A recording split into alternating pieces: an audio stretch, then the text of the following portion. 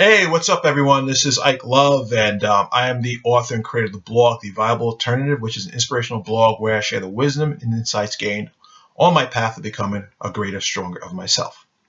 Um, hmm. Very interestingly, it got colder really quick in this city, and I hate the fall, but um, that's why you see me wearing a sweater. As a matter of fact, you're going to see the sweater a lot this winter because I wear the sweater a lot because I love the sweater. But, oh well, anyway. So, um, I have some confessions to make today, um, several confessions about myself. One of the confessions I have to make is that I am a very selfish person. I sometimes get into a mode where I don't consciously try to be selfish, but I just get in this mold where I kind of shut this, the, the world out and I just do myself without thinking of others. And um, yeah, it's just like, you know, I don't think about others. I just kind of do. And it's not something that's intentional. I just get in this like really like one track mode and I'm not even oblivious to others people's needs and wants. I can also say that um, I can be very rude and insensitive. And it's something I worked on for years, but, you know, um, many times I've said things without thinking. I've hurt people's feelings or just, you know, people look and be like, dude, how the hell can you say something like that?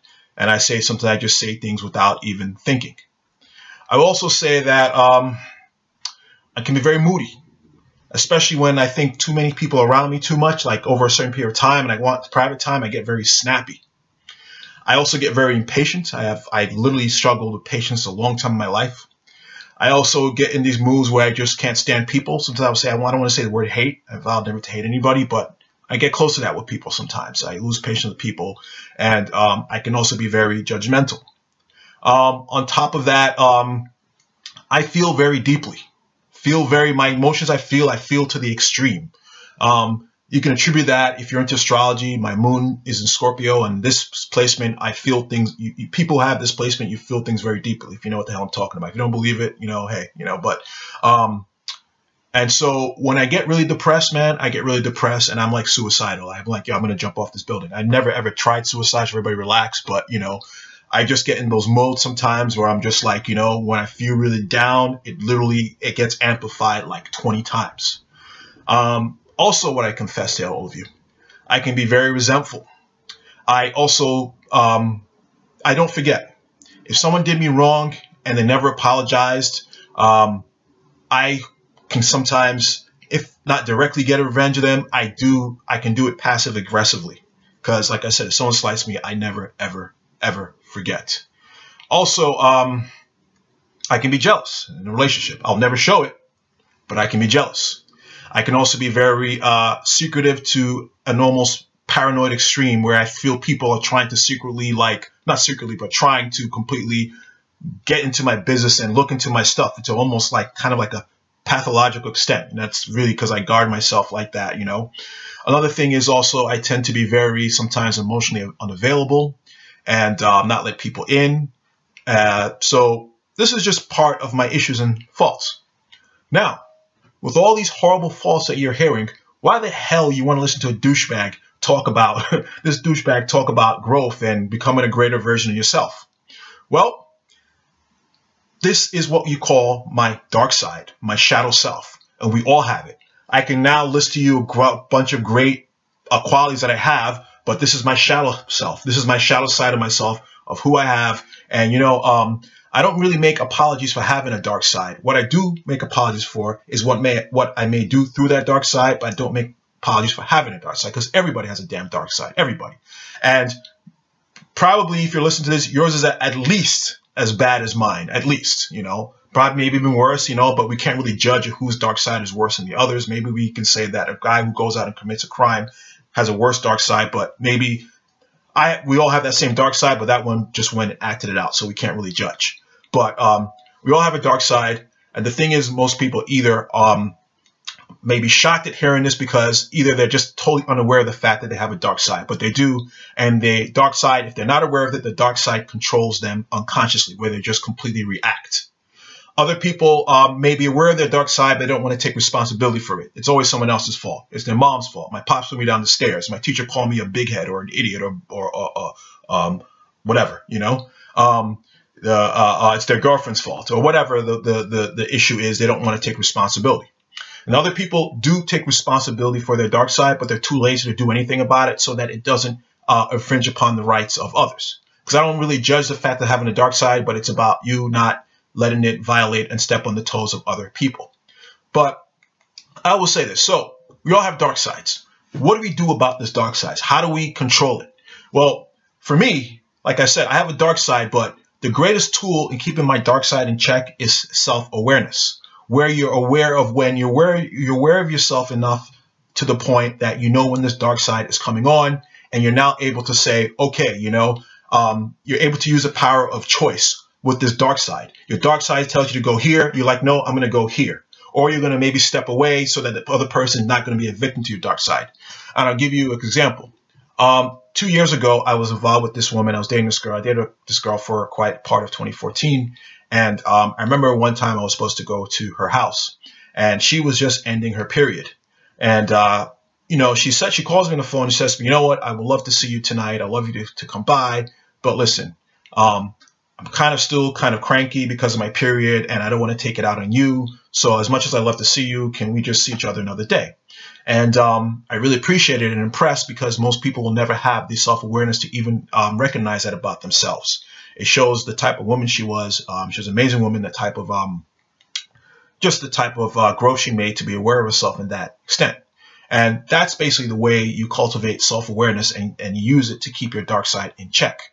Now, of course, um, because we're constantly growing and evolving and learning about ourselves, no matter how self aware we are, there are going to be things that we learn about ourselves um, via the manifestation of our dark side that now we have to, after we express that dark side and it may hurt somebody or piss someone off, we now say, okay, I learned something new about myself. I do this and this and this. Next time I'll be more uh, perceptive so I don't allow that to happen. Um, so yeah, that is um, really how we rein in our dark side for me, like I said in the beginning, I have a tendency to just say stupid stuff. I'm not even proud of it. I say stupid stuff sometimes that can hurt people's feelings. So when I get involved with a woman and it's like about to like, you know, like, you know, we're about to take things further, I give her a little talk and say, listen, you know, there's a part of me that sometimes I say really stupid stuff. If I do it to you, please, I apologize in advance. Sometimes I just, I'm uh, oblivious and stuff just flies out my mouth. I never mean to hurt you. I'm working on it. It's not something I'm proud of, and I used to be worse back in the day. But you know, if I ever do anything to offend you, please tell me, and I will gracefully apologize because I don't want to hurt anybody. I don't want you to have an. I don't want your experience of me with me to be uh, something where you reminisce that I constantly hurt you. That's not really what my um what I want my uh, as long as I'm here on this earth, what I want to be remembered for, or what my impact to be. So I give that talk to every woman that I get involved with, so I um, preempt myself.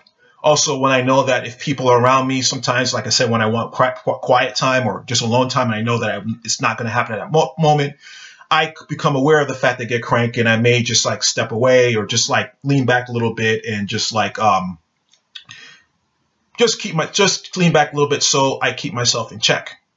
Uh, I believe that if more people were self-aware to their dark side, that there'll be a lot more healthy relationships out there because um, a lot of people we get in relationships and due to our dark side, a lot of which is triggered by our childhood issues and trauma and pain and you know relationships with our parents that you know weren't necessarily helpful or dysfunctional, all this stuff. You know, it builds a dark side in us. We get in a relationship, and because we're not aware of it, we just act out.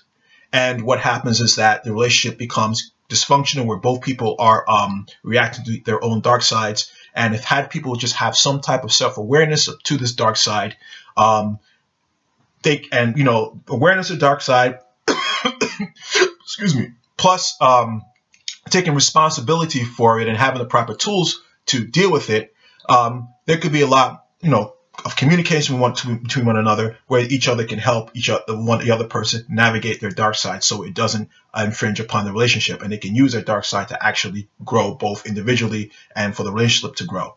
So um, i um, advise you um, become more self-aware to those tendencies that tend to cause conflict with others and conflict within yourselves which in turn will cause conflict with others because conflict with others is a direct reflection of what goes on inside a lot of the time um, yeah, self awareness literally covers a multitude of sins.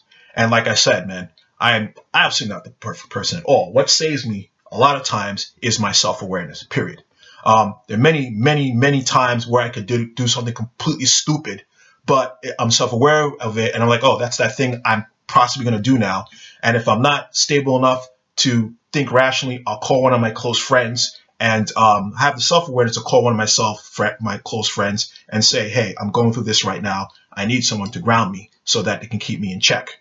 Um, another friend of mine, I don't think he handles it totally correctly, but he says that when he has an issue with his girlfriend, he um, clams up because sometimes he's feeling so angry, he doesn't want to say the wrong thing, he just shuts his mouth. And I said, well, you know, the next thing you probably want to do is be self-aware about that and communicate to her that you're shutting your mouth because you don't want to say anything stupid so that she can appreciate you communicating to her that and she'll respect you more because most guys are not like that. Most people are not like that.